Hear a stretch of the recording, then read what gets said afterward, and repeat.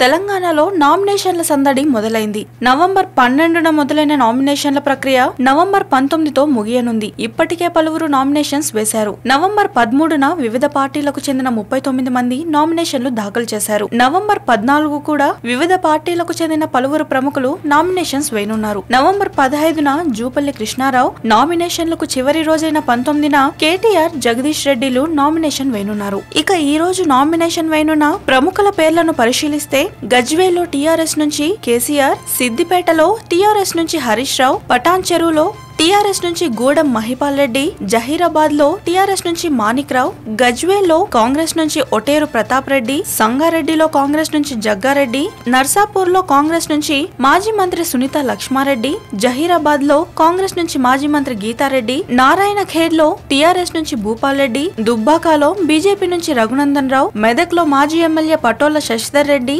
Nomination దాఖలు చేయనున్నారు.